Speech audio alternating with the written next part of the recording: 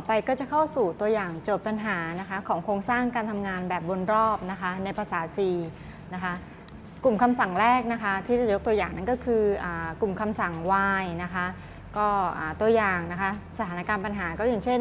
ให้เขียนโปรแกรมนะคะเพื่อแสดงตัวเลข 0 ถึง 10 ออกทางหน้าจอนั่นนะคะ ก็มาทำการวิเคราะห์โจทย์ปัญหาก่อนนะคะในขั้นตอนแรก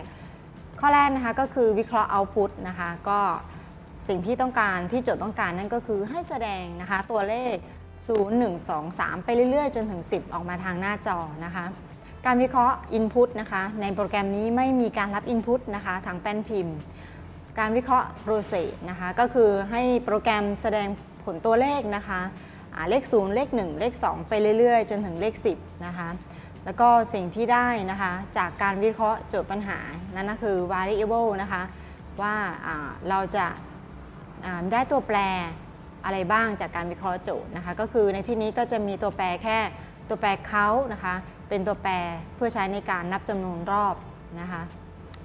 จากการข้อโจทย์ปัญหาก็จะเข้าสู่การออกแบบอัลกอริทึมนะคะ ก็นำสิ่งที่เราทำการวิเคราะห์นะคะ ออกมาเขียนออกแบบอัลกอริทึมในลักษณะของโฟล์ชาร์ตนะคะ จากภาพก็จะเห็นว่าจากสตาร์ทนะคะไปที่ตัวแปรเขานะคะ ให้เขานะคะ เท่ากับ 0 ก่อน เสร็จแล้วก็เข้าสู่ เงื่อนไขนะคะก็คือเช็ค y ก่อนเงื่อนไขว่า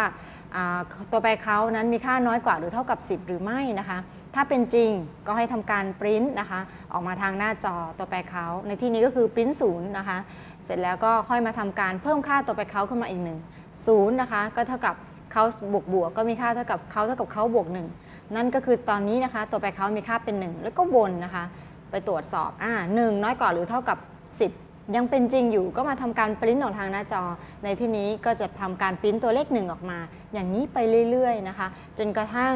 ตัวแปรเขามีค่าเป็น 10นะคะแล้วก็หลุด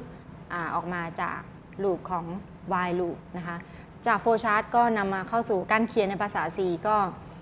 ง่ายมากเลยนะคะจำได้ไหมคะ format นะคะ ก็ทำการกำหนดค่าตัวแปรเขานะคะปริ้นออกมาทางหน้าจอหน่อยว่า show number from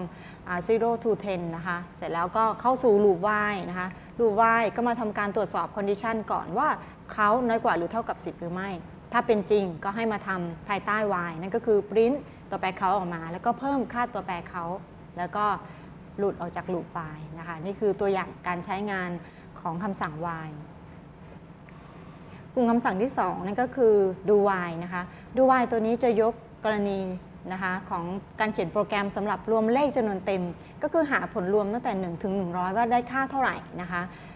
มาทำการวิเคราะห์โจทย์ปัญหากันนะคะ การวิเคราะห์ output ก็คือจะได้ผลรวมของตัวเลขจำนวนเต็มตั้งแต่ 1 ถึง 100 input ไม่มีนะคะ process ก็ทำการบวกค่าไปเก็บไว้ในตัวแปรผลลัพธ์นะคะ ที่เราต้องตั้งขึ้นนะคะ แล้วก็เพิ่มค่าไปจนถึง 100 สิ่งที่ได้มาจากการวิเคราะห์โจทย์นั่นก็คือ variable นะคะ ในที่นี้จะได้ตัวแปร 2 ตัว ก็คือตัวแปรเขาเป็นตัวแปรในการนับจำนวนรอบนะคะ ในการวนรอบ เสร็จแล้วก็ตัวแปรซัมเป็นจำนวนเต็มเพื่อเก็บค่าผลรวมนะคะ จากการวิเคราะห์โจทย์ปัญหานำมาสู่การออกแบบอัลกอริทึมแบบ flowchart นะคะ ขั้นแรกก็ทำการกำหนดตัวแปรเขาเท่ากับ 1 3 เท่ากับ0นะคะ เสร็จแล้วก็เข้าสู่ลูปของ ดู y นั่นก็คือทำก่อนนะคะ1 1รอบก่อน นั่นก็คือ sum เท่ากับ sum บวก count นะคะ sum ในที่นี้ก็คือ 0 เขามีค่าเป็น 1 ก็เท่ากับ 0 บวก 1 มาเก็บไว้ในตัวแปร sum ในปัจจุบันนี้นะคะ sum จะมีค่าเป็น 1 เสร็จแล้ว โปรเซสต่อมาก็คือเขาเท่ากับเขาบวก1หรือว่าเขาบวกบวกเพิ่มค่าตัวแปรเขาขึ้นมา เพื่อที่จะให้รอบการทำงานของดู y นั้นสามารถวนรอบได้ เสร็จแล้วก็เข้าสู่เงื่อนไขของการเช็ค y นั่นก็คือเขาน้อยกว่าหรือเท่ากับ 100 เป็นจริงหรือไม่ ถ้าตัวแปรเขายังน้อยกว่าหรือเท่ากับ 100 เป็นจริง ก็ให้วนกลับขึ้นไปทำภายใต้ดูนะคะ แล้วก็สุดท้ายแล้วเมื่อ เป็นเทสปุ๊บก็หลุดออกมา ก็จะทำการปริ้นตัวแปรซ้ำออกมาทางหน้าจอ แล้วก็จะได้ค่าออกมาค่าหนึ่งนะคะ เป็นค่าที่ทำการบวกเลขตั้งแต่ 0 จนถึง 100 นะคะ แล้วก็นำจากโฟชาร์ตเนี่ยก็นำสู่การเขียนโปรแกรมภาษา C นะคะ ทางด้านขวามือในกล่องสีสีม่วงนะคะ ก็จะได้ว่าภายใต้ฟังก์ชัน main แล้วเนี่ย ก็จะมาเข้าสู่ฟังก์ชันของการทำงานของคำสั่ง do while loop นะคะ ดูแล้วก็ในวงเล็บเปิดปิดนะคะก็จะเป็นซัมเท่ากับซัมบวกเขานะคะเป็นการบวกค่าสะสมเข้าไปในตัวแปรชื่อซัมเสร็จแล้วมาถ้าต่อมาเป็นการเพิ่มค่าตัวแปรเคาน์เตอร์ เพื่อที่จะให้ลูปดูไวทำงานได้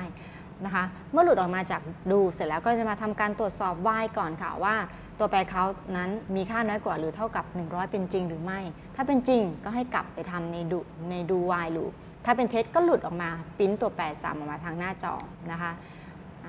ต่อไปก็จะเป็น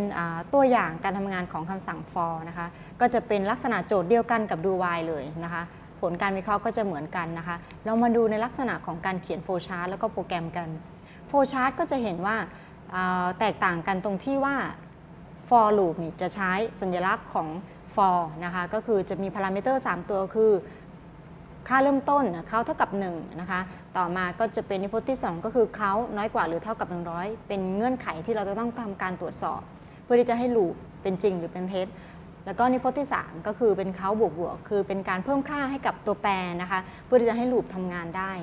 เมื่อเป็นจริงนะคะ ถ้าเขาน้อยกว่าหรือเท่ากับ 100 เป็นจริง ก็ให้มาทำบรรทัดต่อมานั่นก็คือซัมเท่ากับซัมบวกเขานะคะ ถ้าเป็นเท็จก็หลุดออกมาเลย แล้วก็ปริ้นตัวแปรซัมที่หน้าจอนะคะ จากโฟล์ชาร์ตก็จะทำให้ได้การเขียนภาษา C ในกรอบสีม่วงด้านขวามือนะคะของผู้เรียน จะเห็นว่าเมื่อทำการกำหนดตัวแปรนะคะตัวแปรซ้ำเท่ากับ0นะคะเขาแล้วก็ประกาศตัวแปรเขาไว้แล้วเนี่ยก็เข้าลูป for นะคะ for ในวงเล็บจำได้ไหมคะนิพจน์3 กลุ่มด้วยกัน นั่นก็คือเขาเท่ากับ 1 ค่าเริ่มต้นเซมิโคลอน แล้วก็เขาน้อยกว่าเท่ากับ 100นะคะเป็นเงื่อนไข แล้วก็แบ่งด้วยโคลอน แล้วก็เขาบวกบวก ถ้าเขาน้อยกว่าหรือเท่ากับ 100 เป็นจริง ก็ให้มาทำบรรทัดต่อมาคือซัมเท่ากับซัมบวกเขานะคะ ถ้าเป็นเท็จก็หลุดออกมาเลย แล้วก็ปริ้นค่าตัวแปรซัมจะเห็นได้ว่าเป็นยังไงคะ กลุ่มคำสั่งของ for loop เนี่ยจะประหยัดเวลานะคะในการประมวลผล และประหยัดพื้นที่ในการประมวลผลด้วย เมื่อเปรียบเทียบกับ do while แล้วก็ while loop ค่ะ